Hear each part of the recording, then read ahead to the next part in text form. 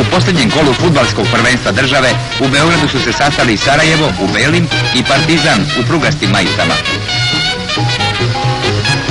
I pored vodstva Sarajeva od 1-0, futbaleri Partizana izvojevali su zasluženu pobedu.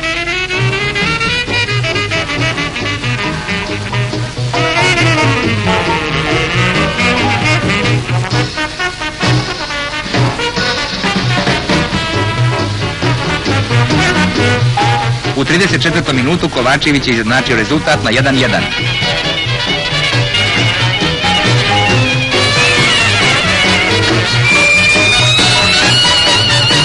Pobedonosni gol za Partizan postignut je iz 11 terca. Strelac je i ovog puta bio Kovačević. Pobedom na Sarajevom Partizan je izvanično postao šampion Jugoslavije.